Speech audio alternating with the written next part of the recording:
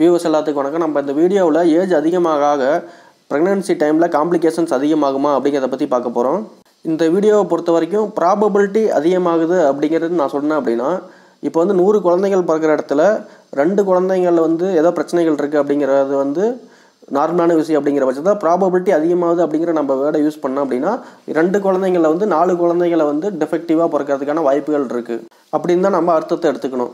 நம்ம வந்து ப்ராபபிலிட்டி அதிகமாகுது அப்படின்னா நூறு குழந்தைகள் பிறக்கிற இடத்துல நூறு குழந்தைங்களுமே வந்து டெஃபெக்டிவாக இருக்கும் அப்படிங்கிற அர்த்தம் கிடையாது. ஸோ வந்து நம்ம புரிதல் வந்து ரொம்ப ரொம்ப இம்பார்ட்டன்ட் ப்ராபபிலிட்டி அதிகமாகுது அப்படின்னா வாய்ப்புகள் அதிகமாகுது அவ்வளோதான் சரி ஓகேங்க. இப்போ வந்து டைரெக்டாக டாபிக் உள்ள போயிடலாம்.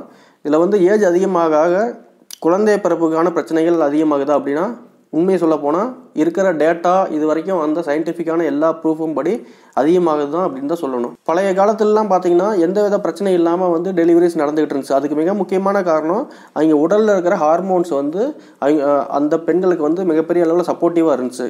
குறிப்பாக சொல்ல போனால் பதினெட்டு வயதுலேருந்து ஒரு முப்பது வயது வரைக்கும் மிகப்பெரிய அளவில் ஒரு சப்போர்ட்டிவாக இருக்கும் ஹார்மோன்ஸ் அதாவது குழந்தை பிறப்புங்கிறது வந்து உடல் அதாவது ஒவ்வொரு டைமும் பார்த்தீங்கன்னா ஒவ்வொரு ஹார்மோன் குழந்தைய வந்து கண்டிப்பாக சப்போர்ட் பண்ண வேண்டிய அவசியம் இருக்குது ஆரம்ப பிகினிங்லேருந்து எண்டு வரைக்கும் மிகப்பெரிய சப்போர்ட் தேவைப்படும்.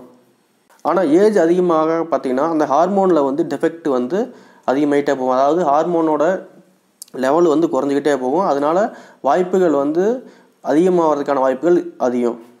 குறிப்பாக பார்த்தீங்கன்னா இப்போ மாடர்ன் சொசைட்டியில் எல்லாருமே வந்து மேரேஜை வந்து மிகப்பெரிய லெவலில் டிலே பண்ணுறாங்க இதுக்கு மிக முக்கியமான ரீசன் அப்படின்னு பார்த்தா எல்லாருமே ஹையர் ஸ்டடீஸ் படிக்கிறாங்க. ஃபர்தராக வந்து சைல்டு பர்த்தை வந்து ரொம்ப ரொம்ப டிலேவாக கொண்டு வராங்க. சொல்லப்போனால் சில பேர் வந்து பார்த்திங்கன்னா தேர்ட்டிஸ் சில பேர்லாம் நிறைய பேர் பார்த்திங்கன்னா இப்போ பியாண்ட் தேர்ட்டிஸ் வரைக்கும் கொண்டு போயிட்டுருக்காங்க ஒரு குறிப்பிட்ட வயதை தாண்டினதுக்கப்புறம் பார்த்திங்கன்னா நம்ம உடலில் சுரக்கிற ஹார்மோன்ஸில் ஹார்மோன்ஸில் வந்து நிறைய சேஞ்சஸ் வரும். அதே மாதிரி சுகர் வந்து கொஞ்சம் கொஞ்சமாக இன்க்ரீஸ் ஆகிறதுக்கும் ஸ்டார்ட் ஆகிருக்கும் அதே மாதிரி ஸ்ட்ரெஸ்ஃபுல்லான லைஃப் இருக்கிறனால பிபியும் வந்து அதாவது பிளட் ப்ரெஷர் அப்படின்னு சொல்லுவாங்க அதுவும் இன்க்ரீஸ் ஆகிறதுக்கான வாய்ப்புகள் அதிகம். குழந்தை பிறப்பை பொறுத்த வரைக்கும் ஜென்ஸோட கான்ட்ரிபியூஷன் வந்து ஒரு டென் பர்சன்ட் தான். பேபியோட ஹெல்த்து வந்து நைன்ட்டி பர்சன்ட் வந்து டிபெண்ட்ஸ் எதை டிபெண்ட்ஸ் பண்ணியிருக்குன்னா உமன்ஸோட அதாவது அம்மாவோட ஹெல்த்தை பொறுத்து தான் நைன்ட்டி பர்சன்ட் பேபியோட ஹெல்த்தும் இருக்குது ஸோ ஏஜ் அதிகமாகிடுச்சுனாவே ஆட்டோமேட்டிக்காக ப்ரெக்னென்சி வந்து நார்மல் ப்ரெக்னென்சிலேருந்து ஹை ரிஸ்க் ப்ரெக்னென்சி அப்படிங்கிற ப்ரெக்னென்சிக்குள்ளே போயிடும் ஸோ வந்து குறை பிரசவம் அதாவது ப்ரீ மெச்சூர் வந்து பர்த்தாக இருக்கலாம். அப்படி இல்லைன்னா சிசேரியன் நடக்கிறதுக்கான வாய்ப்புகள் இருக்குது ஏன்னா நார்மல் பர்த்துக்கு வந்து பார்த்திங்கன்னா ஆட்டோமேட்டிக்காக நம்ம ஹார்மோன்ஸ் தான் ஹெல்ப் பண்ணுது.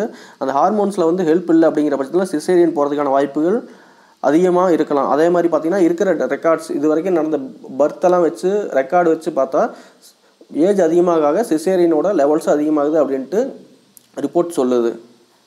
அதே மாதிரி பிளட் ப்ரெஷரும் வந்து சுகரும் மிக முக்கியமான இரண்டு விஷயங்கள் நம்ம ஆல்ரெடி சொல்லியிருக்கோம்.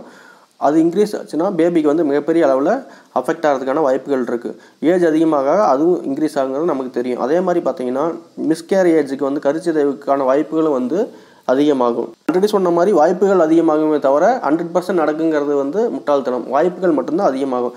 அதே மாதிரி பார்த்தீங்கன்னா டவுன் சின்ட்ரோம் அப்படிங்கிற ஒரு சின்ட்ரோம் இருக்குது அது வந்து டிஃபெக்டிவ் குழந்தை பிறக்கிறதுக்கான வாய்ப்புகள் இருக்குது குறிப்பாக பா பார்த்தோம்னா நாற்பது வயதுக்கு மேலே ஆயிடுச்சுன்னா இது மாதிரி பிரச்சனைகள் வந்து மிகப்பெரிய அளவில் அதிகமாகும்.